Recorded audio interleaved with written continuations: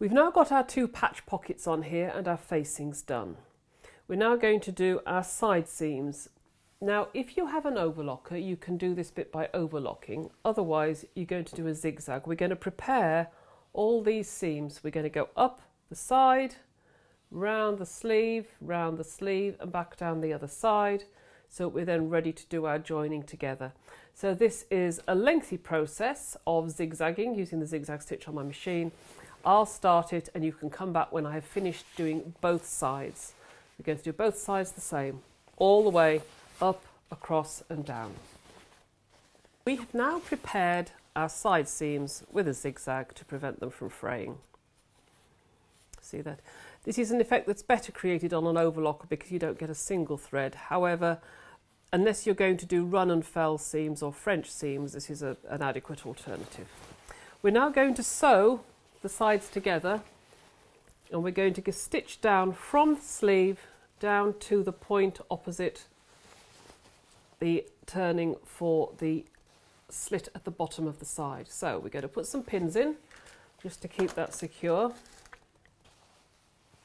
And we're just going to put this one here just to mark this, the place we're going to stop sewing because we're going to go in a straight line down to that point. We're not going to stitch round the curve which may be a bit counterintuitive, but it'll be in the wrong place if we do, so we're not going to stitch round that bottom curve.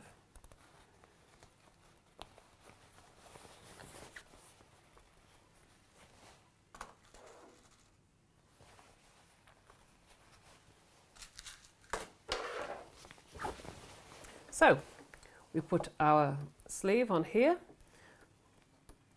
we're going to go just over one centimetre at this point, just to make sure we've got plenty of room to play with. Just about like that. That's, we'll see how far that is. Ready? We go. Oh, don't forget, not on zigzags. There we go.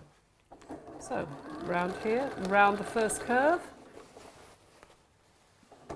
under the armpit,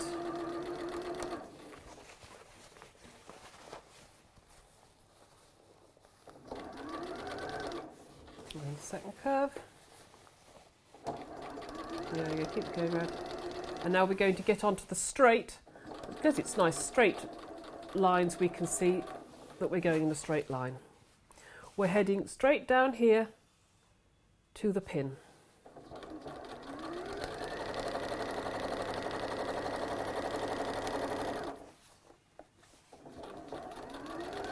When we get to that point, we're opposite the point at the side here. We're going to go backwards slightly just to secure the bottom of that seam. Press that and remove. Take out our pins.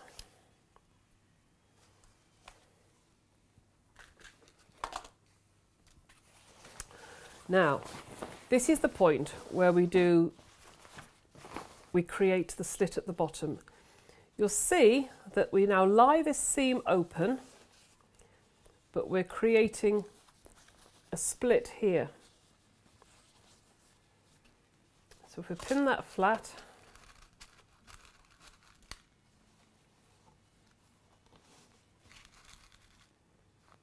this is our side seam.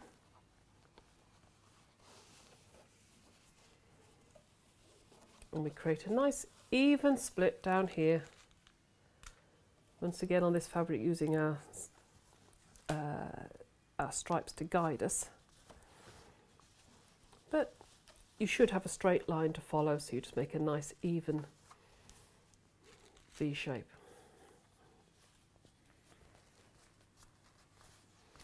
And at this point we're going to just pin these into to secure this so that when we stitch round here we are accurate in our placings, we don't end up with any strange rucks in the fabric. To secure and to top stitch the V, if you look on the right side, we're going to be top stitching from up the sides. But we go here, we're going to create a V. And I'm going to stitch this on the wrong side because it's easier to see where you're going. So we're going to use the, we want it, this needs to be reasonably secure. So we're going to start here once again, I, I like to sew from my left to the right. It makes it easier for me to see what I'm doing.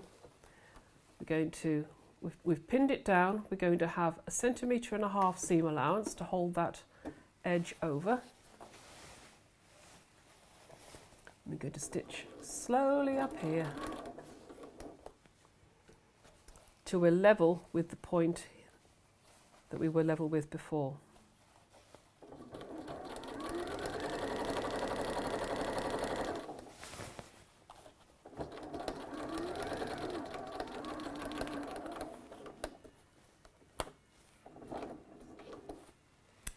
This is where it gets exciting. We're going to leave the needle in the fabric, swivel your fabric round, and we're going to aim to stitch now to just above the top of the, the, the bottom of the side seam.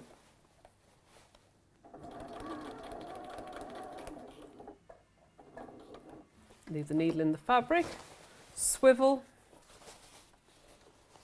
take the pin out of the way if it's annoying. Put the foot back down. Again, so the opposite side of the triangle. Take the foot out, swivel, and we're going to go back down this side.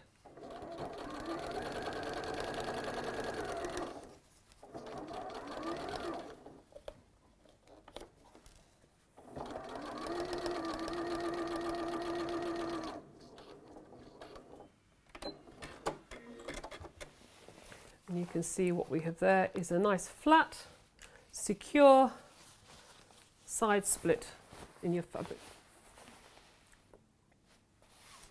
There you go. And I'm now going to do the same on the other side. Right, we've done everything we need to do technically to bring it all together. We've done our V's, we've done our pockets. What we're going to do now is just hem the bottom of the garment and hem the sleeves and then the top is all finished. Isn't that fantastic? So hemming the bottom, we are going to turn the bottom hem over once and over again so that we seal all the raw edges inside. So it's like a little tube there. It's a very simple, it's the simplest way to do a hem. We don't have to do invisible hemming because this is a scrub, this is a piece of uniform and it won't matter. We just need to make sure it's really tidy because that's a rough edge at the bottom of the garment. We're going to do that on the, the front and the back and then a very similar thing to the sleeves. First thing I'm going to do is go over to the iron and I'm going to press that into position using the iron to make sure that it's really quick to sew. You'll see that I've pressed that down before I put a couple of pins in just to hold it while I sew. Your iron is your friend when you are stitching, particularly when you are making things that involve long stretches, not very exciting sewing. Um, if you if you iron as you go, you'll find it, life is much easier. So just put those pins in there just to keep that in place. You'll see I turned under just a small amount under here, just to, it's about a quarter of an inch, just to hide those raw edges.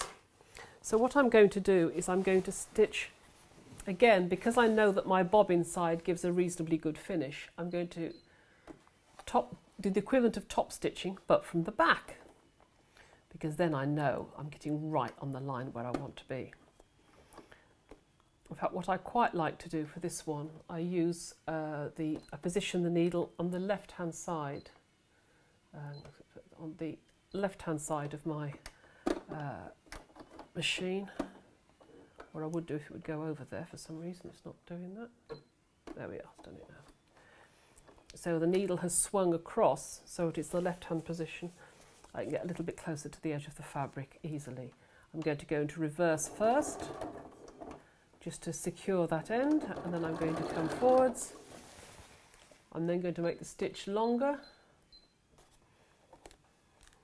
And we're going to go along here, ensuring that I've got all of those raw edges in, but I'm keeping the hem in place.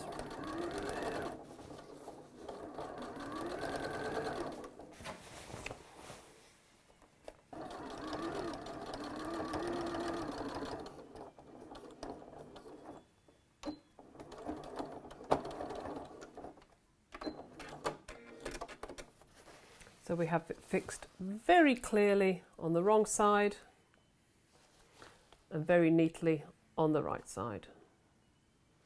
And then we've done the back and then we've done the front. Come back to me when I finish the other side. So there we are, we've done the front and the back bottom hems of our tunic top. We'll take off any odd little bits of cotton off, try and snip as we go, otherwise you end up with an awful lot of trimming to do at the end. And that just leaves us with two sleeves to do. We zigzagged these seams or we would overlock them because when you cut something at a slight angle on fabric, it has a habit of fraying. You can see how it's trying to fight its way through the zigzags there. So even though we're going to hide that, um, and because we've zigzagged rather than overlocking, we can't leave it as a raw edge because it would be a bit, little bit uncomfortable. We are going to turn this in twice, keeping it narrow because it's on a bit of a curve and we don't want to be causing snags and difficulties. So we're going to turn this in and stitch it down all the way around, hiding all those zigzags inside. At the armpit area, we are going to open that seam flat and turn it in so we don't end up with too much of a ridge. So let's pin that in place first.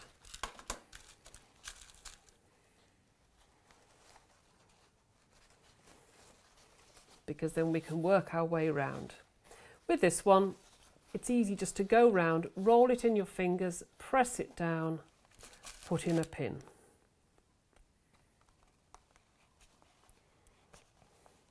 I'm going to do that all the way round and then we'll stitch it together. I have pinned down the sleeve all the way round, just a very narrow hem because of the way it lies you don't want a great big a big hem here. We haven't allowed a huge amount of turn. This is just a very narrow hem. I'm going to stitch that down all the way round for both of them and see how we go. First of all we do our correction to make sure we're not on the zigzags. Put the foot down. I'm going to move into the left hand position for my needle so that I can be basically on the flat while I'm sewing, while getting close to the edge. Rather than having the foot tipping over onto the fabric underneath. Okay, off we go. So here we are, we're coming to the end of sleeve edge.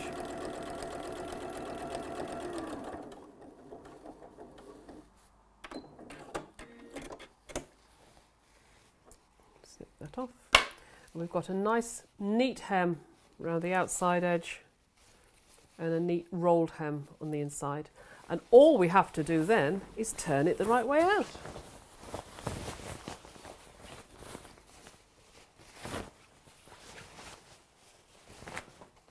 This particular size is a comfy size for, um, you know, an average medium to large person. Um, but we can, you know, you can always adjust the sizes. There's your pockets. We press down and the edges, you see the split at the side is neat. The pockets are in the right place. The facing's lying flat. And then when we, when we pack them, we fold them under like this, all pressed nice and neatly. And we try and put a little label on the front that says, thank you for everything you do because these scrubs are made with love.